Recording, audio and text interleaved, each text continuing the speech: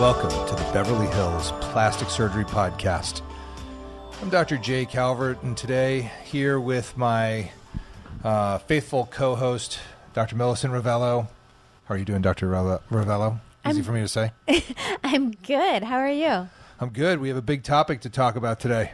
We do. We have, well, I'll let you introduce it because it's sort of your deal. What are Why we doing? my deal. Cocaine nose is my deal. Well, it is my deal. I, just, I fixed it. You just gave away the punchline. No, I thought you meant like because it's your deal. Like, that you kind not my of deal. you kind of know a lot about this No, cocaine nose topic. oh boy, yeah, it's a big one. It's a big one. Yeah, this is something that we definitely see a fair amount. Um, and it comes with a very specific subset of problems that require a very specific subset of treatment options. Um, and it's very real. It's it's Oh, yeah. not like this like super rare thing that happens. Like it happens. It's on the rise lately. Cocaine has made a huge comeback in the Los Angeles area anyway. I don't know about the rest of the world, but I mean, I'm seeing more people with this problem. You know, I think I feel like like cocaine definitely had a moment in the 80s and then it never really went away. And then it was like really popular for a long time like in the early 2000s, especially probably bigger cities, but definitely here in LA. But I feel like the whole like fentanyl epidemic thing has kind of put a damper in the cocaine use Yes. because you just don't know what you're getting anymore. So like people have less of an appetite for the street drugs because you don't know what's in them.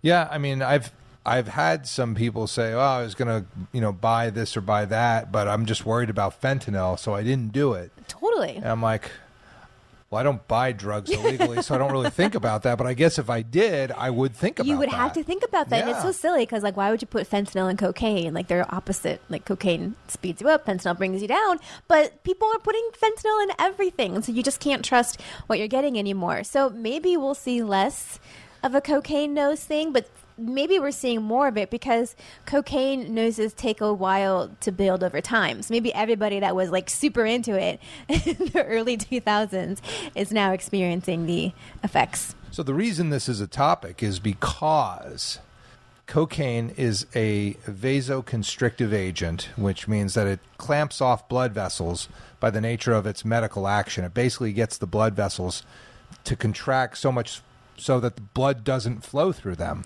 Right. That's part of its mechanism of action.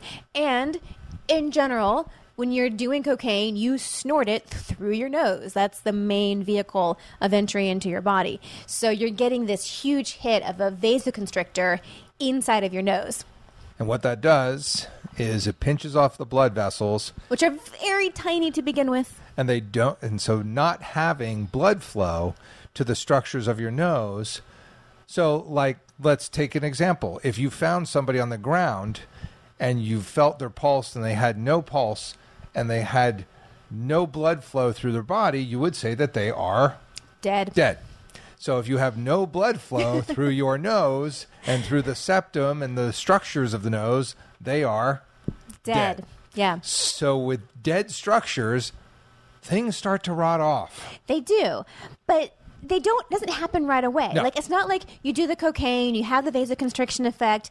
It's not. A, I mean, the depending on how long you're doing cocaine for, like it's pretty short acting. So maybe you're doing it for a night or whatever. But like the next day, you're not doing it anymore, and the vasoconstriction effect has worn off. And if you've done this intermittently here or there a few times over the course of your life, not a big deal. Hang on.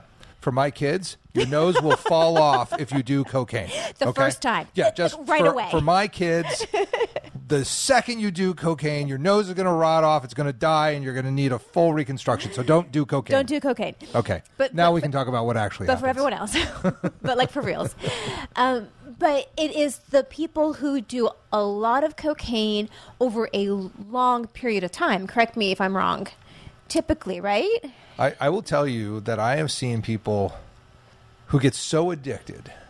And I, I think of one case in, in my head of a 22 year old college student, which, by the way, I don't know where she's getting the money for this because, like, she probably put half a million dollars up her nose to do this to her nose. And, like, she mm. snorted her nose off. And, you know, it does take time. Typically,